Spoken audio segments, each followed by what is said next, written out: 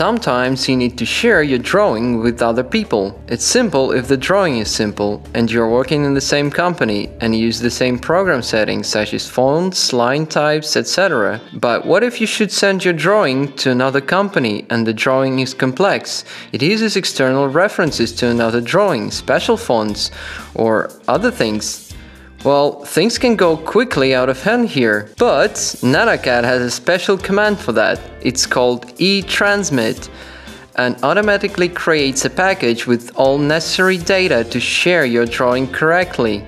I have a complex drawing with a lot of external references. There are a few dozens of them to be precise.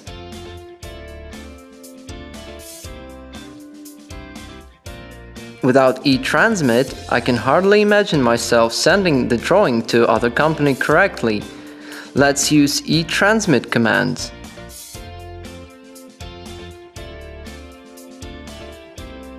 It guides me through the process.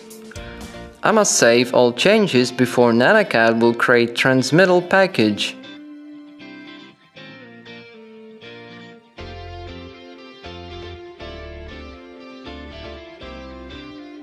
Preview of transmittal package contents is ready.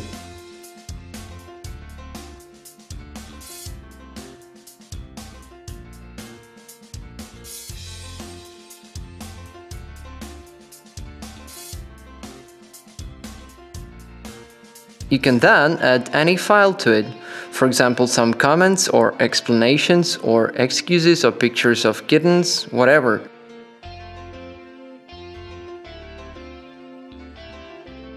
Package is created in a compressed zip file. It contains everything that was in the transmittal package preview.